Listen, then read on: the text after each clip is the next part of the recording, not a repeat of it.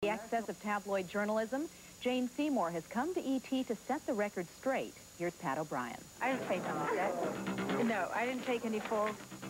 I have put on a little bit more weight than they say here. It's another 10 pounds.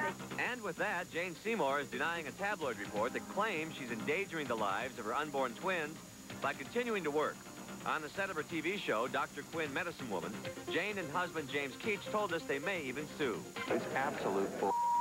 These people are complete jerks, and they'll do anything for to, to, to sell a story that's untrue. Anybody who reads this stuff and believes it really ought to have their head examined. Jane and James are the latest celebrities to lash out at the tabloid media.